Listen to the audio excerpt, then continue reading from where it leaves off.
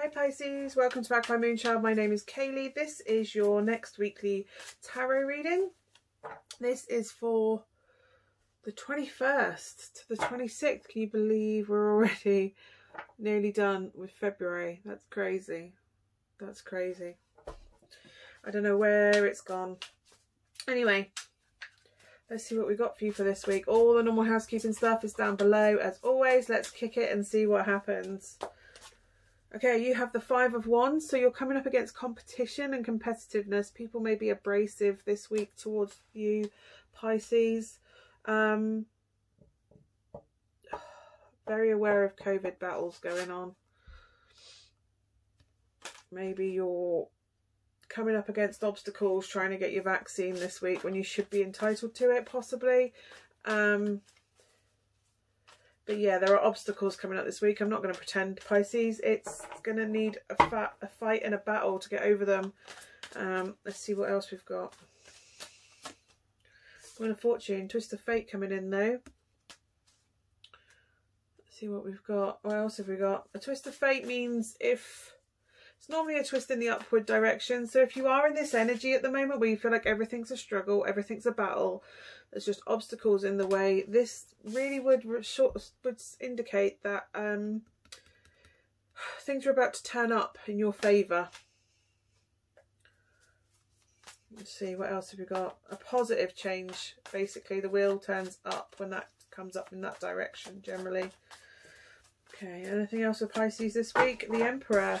Um, this can be an Aries. This is somebody that very much takes command of um, their environment, their resources, and they make things happen and expand their horizons.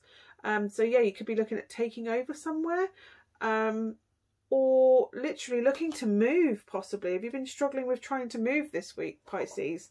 Um, whatever it is, you're gonna you are very much taking command and being in the driving seat.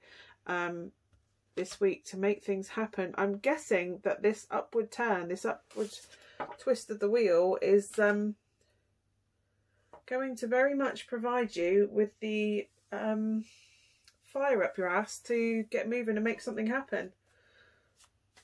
And I kind of really like that energy. I really like that energy. It's very Aries, very make things happen, very I want it. It's going to... But it's almost like that gives you the encouragement you seem to have the resources you need to make that happen. This is the King of Pentacles. This is somebody that has financial um, abundance, basically, financial, uh, well, financial and also material abundance. He has a kingdom, and he can provide for a kingdom. So, um, yeah. And again, Taurus. So if this is something that you've struggled to get off the ground, maybe this week you're going to find some upturn that's very much going to bring in abundance and progress in the next coming months because this is Aries into Taurus. So, um, yeah, whatever it is you're battling to get off the ground, keep going because it's about to turn up in your favour. I really like that. Clear decisions to be made. You have clear insight. Do not make emotional decisions. Make sure you research fully and you're very clear be mindful of, of emotions, but don't use them as a um what's what am I looking for? What's the word I'm looking for? As the grounds to make that decision. Um, and then you have Six of Pentacles. Don't be afraid to ask for help if you need it going forward. And also, if you do find you're in this position of excess, don't be afraid to bestow, um, to share the wealth a little bit to share the wealth. Or you'll be in a position where you can share the wealth a little bit. But yeah, only you can decide how best to apply that abundance that comes in. That was really quick for Pisces. I will give you a oracle card, wisdom of the oracle card.